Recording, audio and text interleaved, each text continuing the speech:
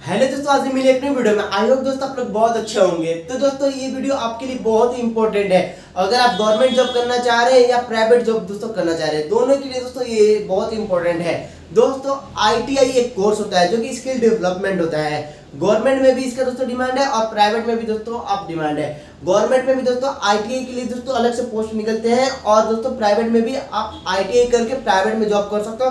अच्छे खासे दोस्तों सैलरी भी पा सकते हो इसमें। तो दोस्तों आईटी करने के लिए आपके पास दो ज़रिया होता है। एक प्राइवेट से भी होता है दोस्तों, और गवर्नमेंट से भी दोस्तों आईटी होता है। तो आईटी करने के लिए आपके पास एक प्राइवेट से भी दोस्तों होता है, और गवर्नमेंट से दोस्तों होता है। अब प्राइवेट और गवर्नमेंट में क्या डिफरेंट होता है, वो हम बात कर रहे हैं दोस्तों। दोस्तों प्राइवेट और गवर्नमेंट आप जिससे भी करो, आप दोनों जगह एलिजिबल रहोगे। यानी आप, ऐसा नहीं कि प्राइवेट से करोगे तो आप गवर्नमेंट जॉब के लिए आप एलिजिबल नहीं हो। आप एलिजिबल रहोगे। प्राइवेट से करो चाहे आप गवर्नमेंट से आई करो।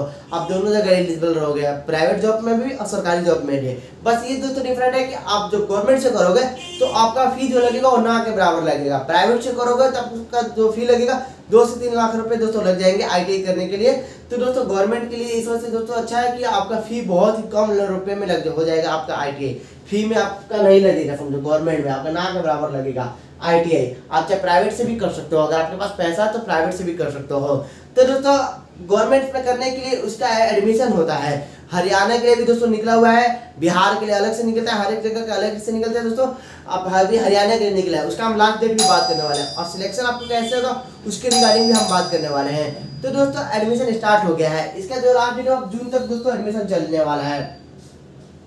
जून तक एडमिशन चलेगा। इसके बाद दोस्तों मेरिट लिस्ट बनेगा।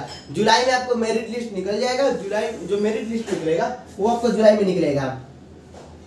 जो एडमिशन होगा, कैसे होगा? मेरिट के बेस पे दोस्तों होगा तो मेरिट पे यानी आपका मेरिट रेडी होगा। मेरिट लिस्ट निकलेगा मेरिट लिस्ट कब निकलेगा? वो जुलाई में दोस्तों निकलेगा आपका। जुलाई में मेरिट लिस्ट निकलेगा, उसके बाद आपका एडमिशन स्टार्ट हो जाएगा। एडमिशन आपका स्टार्ट सेशन चलने लगेगा दोस्तों। तो आप दोस्तों, इसके लिए क्वालिफिकेशन आपका क्या चलना चाहिए? तो दोस्तों क्या रहना चाहिए क्वालिफिकेशन आपका, अगर आपने टेंथ कर लिया तो दोस्तों, आप एलिजिबल हो। आईटी दोस्तों, जो होता है, वो आपका टेंथ बाद ही होता है। तो टेंथ आपने कर लिया तो दोस्तों एलिजिबल यानी मिनिमम क्वालिफिकेशन क्या चाहिए आपको? मिनिमम क्वालिफिकेशन जो चाहिए, आपका टेंथ चाहिए। अगर टेंथ आपने कर लिया तो आप एलिजिबल हो टेंथ से पहले आप आई नहीं कर सकते हो यानी टेंथ के बाद आप कर सकते हो। टेंथ के बाद आप, आप डिप्लोमा करो चाहे फिर आई करो चाहे फिर आप ग्रेजुएशन करो ग्रेजुएशन के बाद भी आई कर सकते हैं। यानी मिनिमम आपका टेंथ चाहिए मैक्सिमम आप जितना भी रहो उसके बाद आप आईटी कर सकते हो। ये दोस्तों एक डेवलपमेंट कोर्स होता है।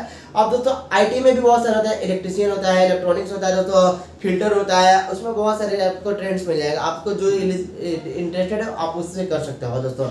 तो यानी आपको जो मिनिमम क्वालिफिकेशन चाहिए वो टेंथ चाहिए। टेंथ बाद आप कर सकते हो। इसमें एज भी है दोस्तों मिनिमम एज आपको चौदह से दोस्तों चाहिए। मिनिमम में चौदह चाहिए, यानी टेंथ तो अप्रोक्स तेरह चौदह में आदमी कर लेता है। तो तो वही मिनिमम में चौदह मैक्सिमम आपका कोई लिमिट नहीं है। मैक्सिमम आप जितना भी चाहो, जितना एक चीज़ के भी हो, आप कर सकते हो। बस आपको टेंथ करना चाहिए। मिनिमम में आपको टेंथ चाहिए। क्वालिफिकेशन दोस्तों मिनिमम में चौदह चाहिए। हमने ये बात कर लिया अब दोस्तों जब फॉर्म भी फिल होता है इसमें, जैसे कि आप जून में मई में आपका एक हफ़्ता बचा है, आपका ट्वेंटी हो गया, आपके आपके पास मई के लिए दोस्तों दस दिन बचे हैं। इसमें आपको दोस्तों फॉर्म निकलेंगे और जून तक एडमिशन फॉर्म भराएँगे। और मेरिट लिस्ट जो बनेगा वो जुलाई में बनेगा। यानी मेरिट लिस्ट के थ्रू आपका एडमिशन होगा। अब दोस्तों, जो फॉर्म फिल करोगे तो आपको कितने रुपए लगेंगे? दोस्तों, सौ रुपए लगेंगे सिर्फ़ जनरल ओबीसी ईबीसी सबके लिए सौ रुपए लगेंगे। बस एससी और एसटी के लिए पचास रुपए लगेंगे। फ़ी भी बहुत कम है। यानी सौ रुपए जो लगेंगे वो आपको वो लगेंगे जनरल के लिए ओबीसी के लिए लगेंगे ईडब्ल्यूएस के लिए दोस्तों लगेंगे, और कैटेगरी के लिए लगेंगे। बस पचास रुपए जो लगेंगे वो लगेंगे एस और एसटी के लिए दोस्तों पचास रुपए लगेंगे। आप देख सकते हो आपके फ़ी भी बहुत कम लग रहे हैं इसमें एडमिशन लेने के लिए। आपको जो एप्लीकेशन फॉर्म लगेगा वो सौ रुपये पचास रुपये सिर्फ़ लगने वाले हैं। अब इसका सिलेक्शन भी होगा कैसे? वो मेरिट बेस्ट होगा। हमने फ़ी भी बात कर लिया और एज भी बात कर लिया। तो दोस्तों आप फॉर्म को फिल कर लेना और आई आप करना चाह रहे हो तो दोस्तों गवर्नमेंट से ही करो, क्योंकि बेस्ट रहेगा। इसमें आपका फ़ी भी बहुत कम अगर आपको कोई डाउट है तो आप मुझे ज़रूर कमेंट करना। आई होप आपको वीडियो अच्छी लगी, इस वीडियो को लाइक और शेयर करें और हमारे चैनल पर नए चैनल को सब्सक्राइब करें बेल आइकन को प्रेस करें। चलिए, मिलते हैं नेक्स्ट वीडियो में। Thank you so much